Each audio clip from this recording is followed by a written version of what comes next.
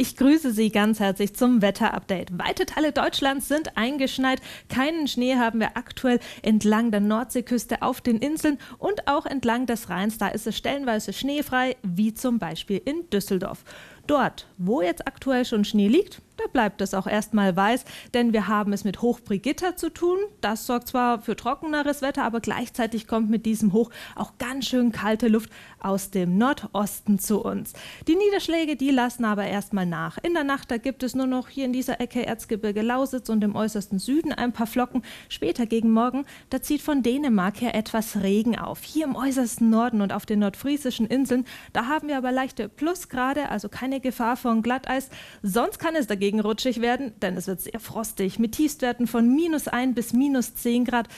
In Bayern, da geht es stellenweise auch mal unter die minus 10 Grad Marke. Und zudem haben wir hier im Süden einen sehr lebhaften Nordostwind. Besonders stark weht er im Schwarzwald. Hier auf den Gipfeln, da drohen sogar Windböen um 100 km/h und somit auch Schneeverwehungen. Tagsüber bleibt es in der Südhälfte frostig kalt und auch ganz schön windig. Und mit diesem Wind, dem böhmischen Wind, da schwappt so eine Hochnebensuppe rein. Da bleibt es stellenweise auch mal den ganzen Tag über trüb.